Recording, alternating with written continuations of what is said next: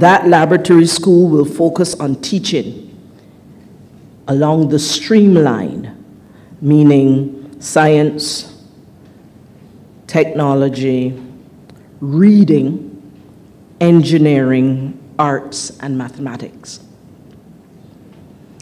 And that we will do so with an important part of its instructional focus being on play-based learning. The work has begun already.